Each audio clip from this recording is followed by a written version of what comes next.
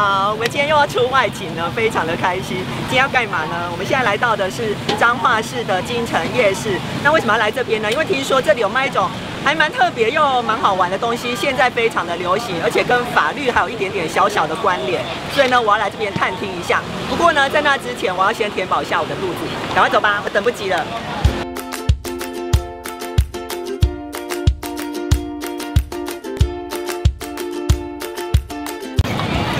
我们现在先吃个豆花。嗯。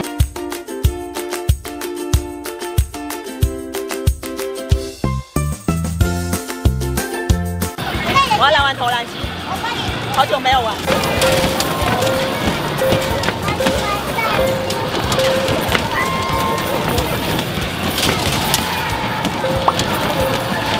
五十二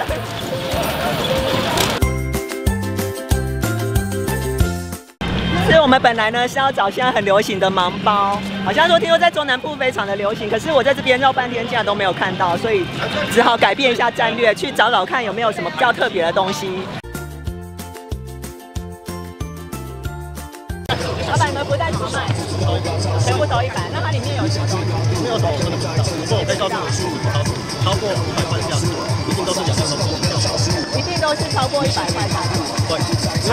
两样东西下去做的，两样东西哦，啊是是什么东西？是这个不一定，不一定可。能对你有用，可能也对你没用，看个人。啊，我可以摸摸看吗？可以，我过去那边摸。听不出来是里面是什么东西。老板说里面有玩具，可能也有三 C 用品还是生活用品。啊，那我就随便挑两个好了。老板，那我要这两个。嗯、我现在已经回到我温暖的小窝了。那这个呢，就是我从夜市里面所买到的福袋。那这个呢？呃因为其实我逛了好几个地方的夜市，都没有看到有人在卖盲包啦，不知道为什么，是他们听到我要去就通通都收起来了嘛。所以呢，我只好托我朋友帮我呃去夜市买了几个盲包回来。那它是以一百公克四十元的价格买到的哦。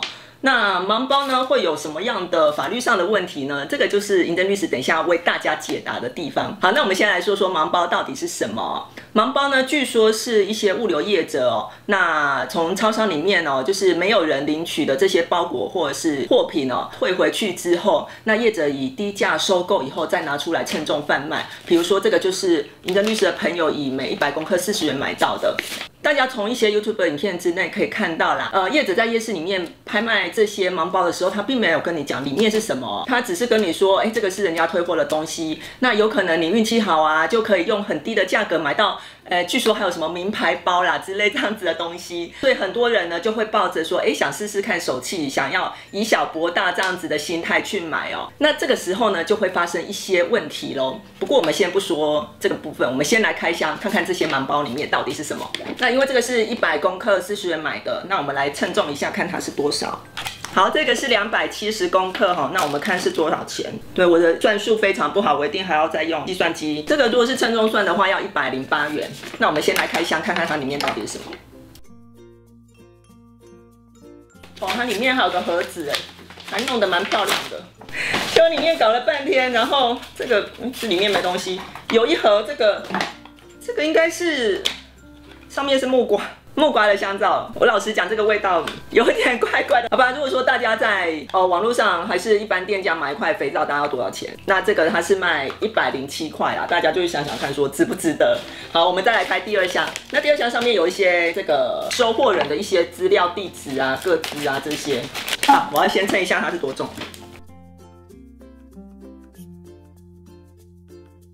这个是四百八十七公克，那我们看它如果这样子卖的话，要卖多少钱？哇，要一百九十四块八，将近两百块的价格，因为它看起来蛮大的啦，所以我还蛮期待里面到底是什么的。那呃，也许有的网友会问说，哎、上面有个资啊，会不会有个资法的问题？可是其实你也不知道说这些这些上面的资料到底是真的还是假的啦。因为现在就是说盲包到底是怎么来的，其实众说纷纭。那如果说它是真的地址的话，哦，确实会有一些个资法的问题。我们看它里面是包了好多层哦，这个这是保利龙报纸，这个是什么？看起来像布一样的东西，而且都臭臭的。这是什么东西啊？这个是，你看这边有一个孔，然后这边没有，这是布袋吗？是 couple 的用的吗？这到底是什么啊？我知道了，它应该是枕头套吧，套两个，然后只有一边有洞这样子。好，我觉得应该是枕头套，有点臭。其实质量不算很差啦，可是怎么想都不会想要买这个颜色的枕头套吧？好，这个要将近台币两百元。那对大家自己想想看值不值得好了。好，我们再开第三包。那第三包它一样上面有一些周建人的资料。好，这个是两百二十三公克。呃，如果换算的话，它是将近九十元。然后里面又包了一层。我觉得他们都包很多层，要增加它的重量吗？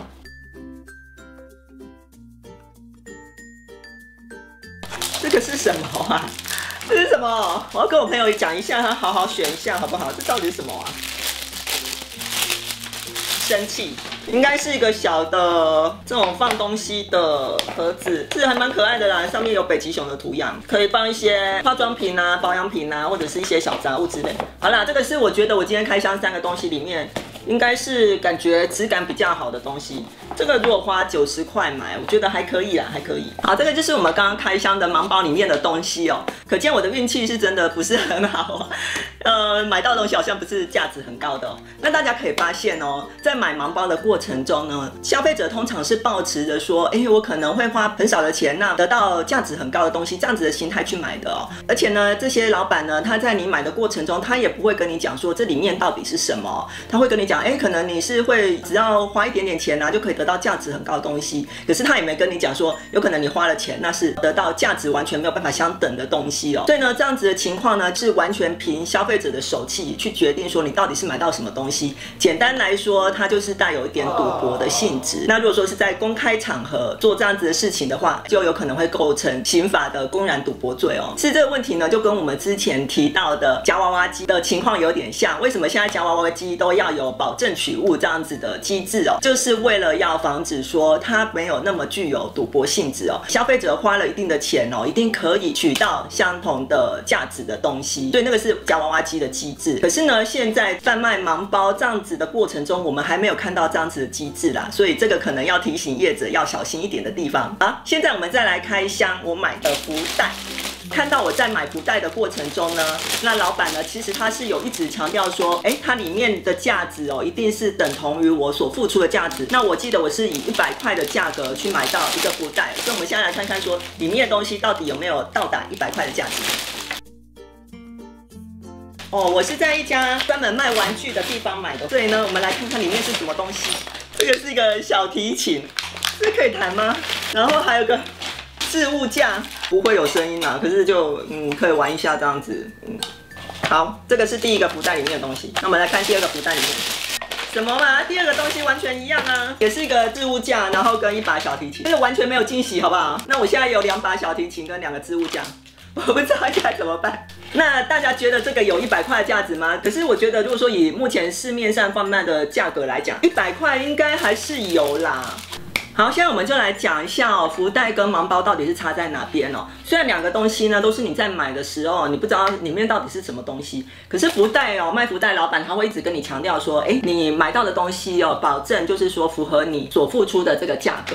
可是盲包的老板呢，他会跟你强调说，不知道里面是什么东西，你有可能可以买到很好的东西，那有可能运气不好的话，就是买到很差的东西。它的价值是比较确定的，那盲包的价值呢是充满了不确定性，所以呢，盲包它就比较具有赌博。性质，因为它必须要看消费者的手气跟运气哦，来决定说他到底是买到什么东西。所以如果说是以价值方面来讲的话，福袋呢，它就不会有赌博罪的相关问题。那可是可能也有网友会有疑问啊，像百货公司啊，或者是一些大卖场啊，常常也会有一些促销活动哦。那他们会标榜说，你购买福袋的话，有可能可以抽到汽车啊，或者是豪宅啊之类这么呃不可思议的大奖。那这个难道不具有赌博性质吗？可是大家要记得哦，因为福袋呢是你购买的时候你。已经先取得一个价值一样的东西了。那这些大奖呢，这些汽车啊，或者是豪宅，这个大奖呢是附加给你的。可能运气好的话，他就会得到大奖；可是运气不好的话，他也不会有损失。等于是消费者他已经立于一个稳赢不输的一个地位哦，所以他就不具有博弈的性质。还有啊，像是很多这个产品的抽奖，比如说吃洋芋片呢，还是喝饮料啊，也常会有一些抽奖活动，意思也是一样的哦。因为这些抽奖活动呢，消费者呢，比如说我花二十元买买一罐饮料，那我已经先取得一个跟二十元一样价值的饮料了，那我不用说我为了要去参加抽奖，我还要另外付出其他的成本。所以啊，法律啊真的是无所不在，连去逛夜市都可以发生跟法律有关的事情哦。其实用这个角度来想的话，法律它并没有那么难亲近，其实还蛮好玩的，对不对？好了，喜欢我的影片，别忘了订阅律师说真话的 YouTube 频道，以及追踪我的 IG 跟到我的脸书粉丝页按赞哦。那我们就下礼拜见啦，拜拜。